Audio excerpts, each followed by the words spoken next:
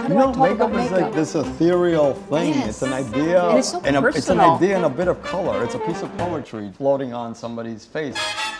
MAC is such a spirit of the time itself. Right. It's such a modern, I don't even see it as a makeup company. It's a, a culture. It's a culture, exactly. The collaboration has been incredible. Mac gave us the opportunity to be artists. You really let us play. But Isabel's an amazing colorist. She's always been very experimental. She's not timid with how she uses color, but it, but It she has is to feel reacting it. to art more than beauty. I was trying to do a Ruben on my face.